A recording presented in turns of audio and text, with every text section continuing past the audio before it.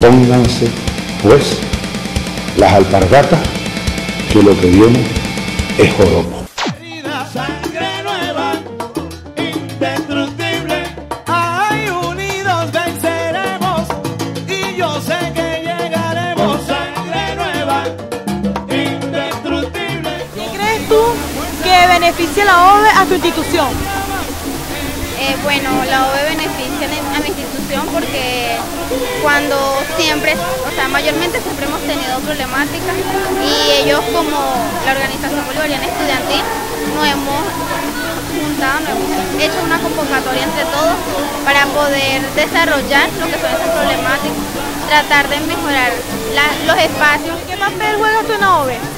Soy ahorita soy estoy apoyando a los muchachos. ¿Le has visto fruto al movimiento de la OVE aquí en tu parroquia en Tima? Leí bastante no ya la- el documento que se organizó hace un año.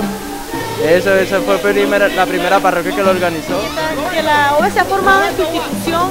¿Le han visto respuesta? ¿Ha, ha habido respuesta a la problemática de la institución? Bueno, por, por ahorita sí, como en el grupo compañero que es en, en lo estatal, estamos luchando para el pasaje estudiantil, para que cada institución sea la mejor, para que las instituciones tengan deporte, tengan cultura, tengan todos los bienes educativos.